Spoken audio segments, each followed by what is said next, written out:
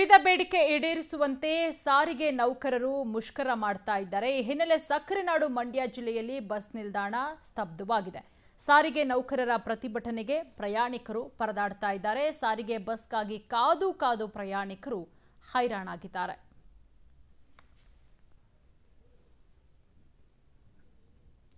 ಇವತ್ತು ಸಾರಿಗೆ ನೌಕರರು ಮುಷ್ಕರವನ್ನ ಮಾಡ್ತಾ ಇದ್ದಾರೆ. ಹಾಗಾಗಿ ಬಸ್ ಸಿಗದೆ ಬಸ್ ನಿಲ್ದಾಣದಲ್ಲೇ ರೋಗಿ ಪರದಾಡಿದ್ದಾರೆ. ಕಲಬುರಗಿಯ ಕೇಂದ್ರ ಬಸ್ ನಿಲ್ದಾಣದಲ್ಲಿ ನಡೆದಿರುವ ಘಟನೆ ಇದು. ನೋಡ್ತಾ ಇದ್ದೀರಾ ನೀವು ಕೂಡ ದೃಶ್ಯದಲ್ಲಿ. ಬಸ್ ನಿಲ್ದಾಣದ ಆವರಣದಲ್ಲಿ ಯುವತಿ ನರಳಾಡ್ತಾ ಇದ್ದಾರೆ. ಚಿಕಿತ್ಸೆಗಾಗಿ ಹುಮ್ನಾಬಾದ್ಗೆ ಯುವತಿ ತೆರಳಬೇಕಾಗಿತ್ತು.